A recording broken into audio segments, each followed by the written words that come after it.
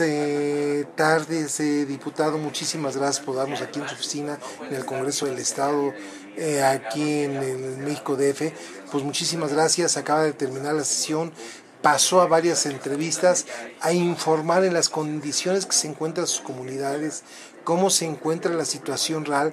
Ayer hubo una conferencia de prensa, cómo se encuentra la situación real en el estado de Guerrero. Se está hablando mucho de Acapulco, está hablando mucho de Chilpo, pero también hay muchas comunidades que usted quisiera platicar de cómo se encuentran y cómo han sido afectadas.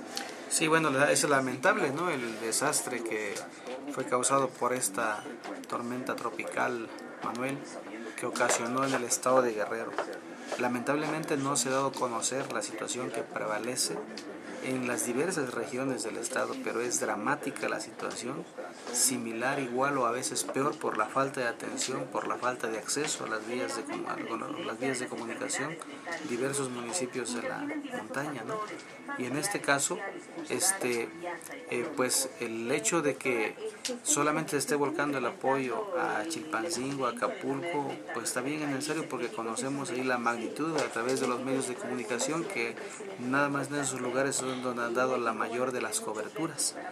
Fui testigo de Chilpancingo porque estuve ahí eh, de la magnitud del desastre que ocasionó el desbordamiento de la presa y el río Huacapa en consecuencia a su paso todo el desastre que dejó, las inundaciones de las colonias de Chilpancingo hacia el sur, Petaquillas, Mochitlán, Quechultenango, Coloclipa, pero el resto de las regiones no es menor regresé recientemente ayer a sesión a Cámara, pudimos llegar a México después de estar incomunicados por tres días con la autopista del Sol, pudimos llegar, pero previo a eso pasé a hacer un recorrido por la región del Alto Balsas, en comunidades de los municipios en las que estamos dispersos esta región, de los municipios de Copalillo, de los municipios de Tepecoculco de Trujano, de Huitzuco, de Atenango, de Eduardo Neri, de Mártir de Culapa, donde hay una situación de desastre en verdad difícil, complicada.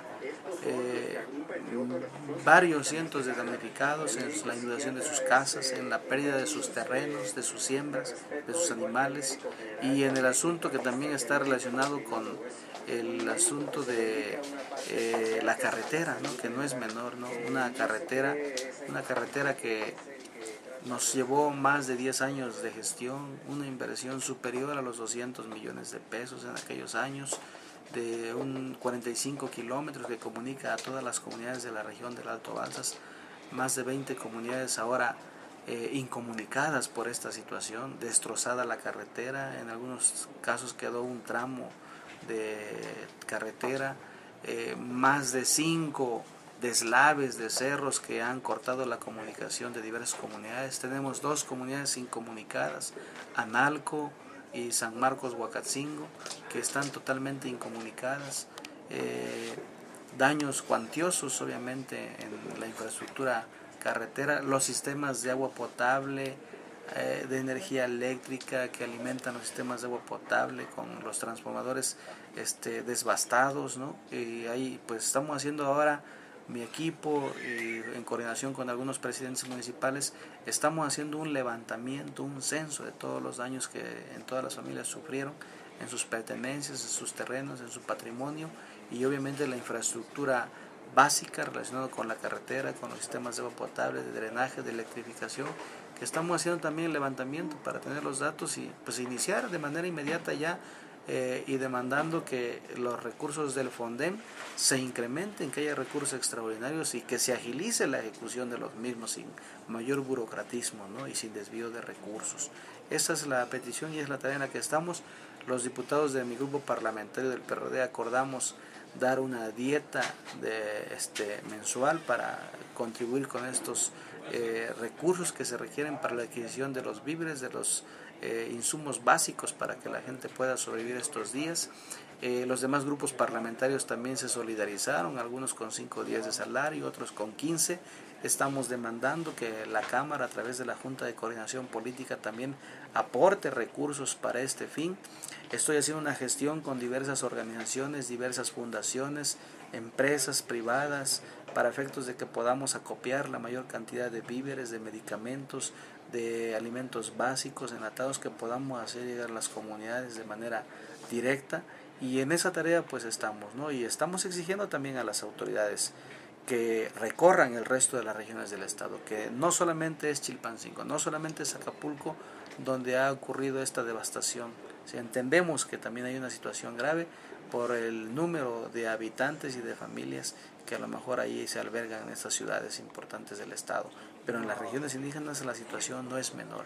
Tenemos comunidades que los cerros se desgajaron, como el caso de Coyuca de Benítez que ocurrió en la comunidad de La Pintada, Casos similares existen en Iliatenco, existen en Atlamajalcingo de Monte, existen en Malinaltepec, existen en Cochuapa, existen en Metlatono, existen en el municipio de Tlapa, existen en los municipios de Copanatoyac, en los municipios nos han reportado de Alpoyeca también inundaciones, Guamustitlán y Suchehuetlán con la, el río de las Cañadas que también se, se colapsaron varios puentes que eh, comunican la parte de la cañada con la montaña.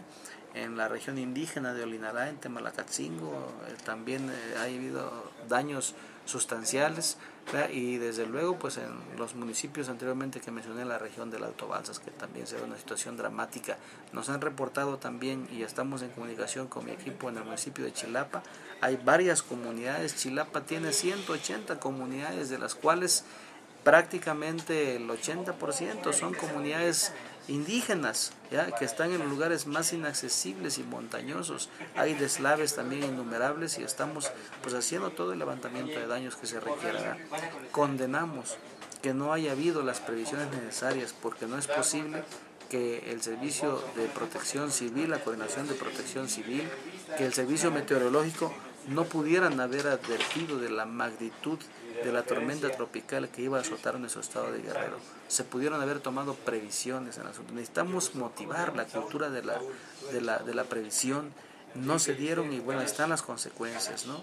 Acapulco es sin duda el, este, el botón de muestra, porque se pudo haber evitado que miles de turistas pudieran haber llegado a Acapulco y después encontrarnos en una situación dramática si hubiéramos tomado previsiones del caso. ¿no?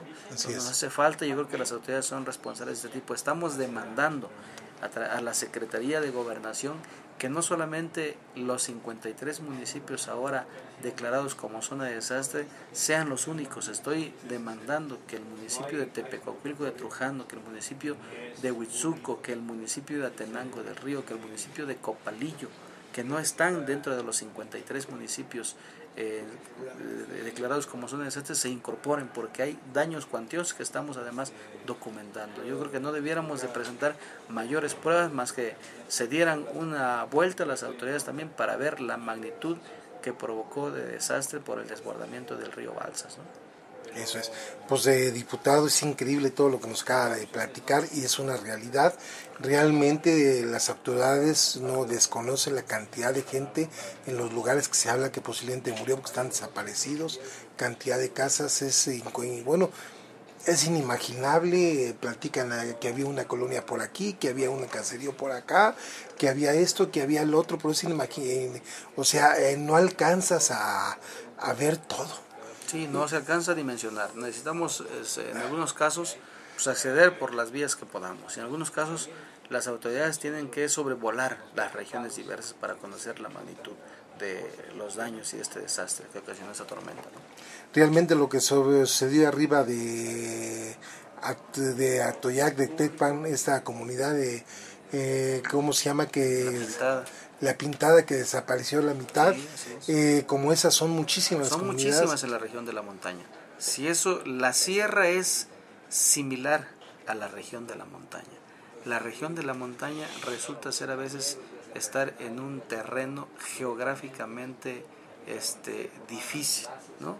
Eh, tenemos una geografía complicada, tenemos una geografía accidentada, eh, se provocan deslaves, derrumbes, eh, todos los días del año en esta región. Entonces, imagínense con esto, esa tormenta, pues es, está de verdaderamente una situación grave, ¿no? Y estamos demandando toda la atención. Ahora los diputados estamos ya saliendo para efectos de que podamos coadyuvar, estamos acopiando lo que podamos de apoyos, de víveres, de ayuda, de cuestiones básicas que podamos hacerle llegar a la gente y pues seguir conociendo con más puntualidad la magnitud de este desastre, lo que hemos recorrido, lo que nos permitió recorrer con los pocos, los pocos eh, las vías de comunicación que tuvimos acceso, pues hemos visto esta dimensión más la información que nos ha llegado de los compañeros, de las autoridades, de los presidentes municipales, sin duda requieren de una atención emergente, al igual que igual, al igual que Chilpancingo.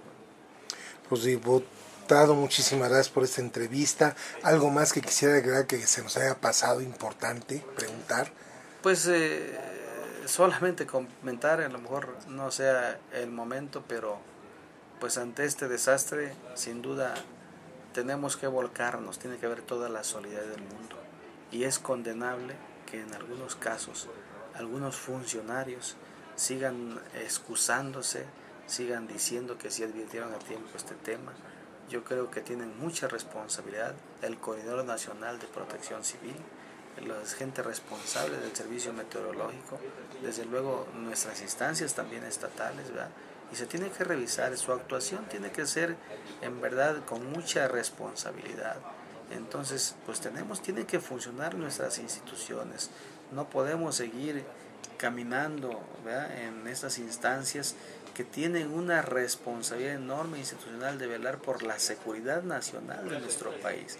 Este es tema de seguridad nacional de nuestro país.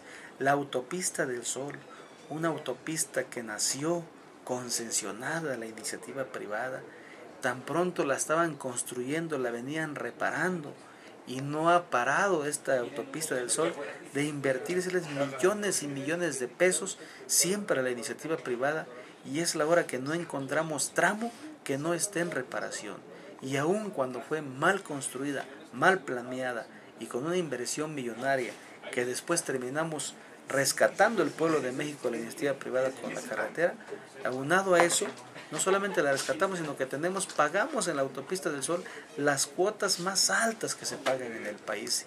Y en una carretera, en una autopista insegura, en una autopista de la muerte. Y ahora vimos las consecuencias del grado sin duda que destapa de corrupción, de desvío de recursos, de no cumplir con las especificaciones técnicas de contar con una carretera digna que la vuelve eh, sin duda peligrosa. Es un asunto también de seguridad nacional que yo creo que las autoridades, todos los poderes, tenemos que poner especial interés y atención. Pues diputado, más que nada, muchísimas gracias por esta entrevista, estoy muy agradecido. Para sustento su nombre. Carlos de Jesús Alejandro, diputado federal por el sexto distrito de nuestro estado de Guerrero con cabecera distrital en Chilapa de Álvarez. Muchas gracias.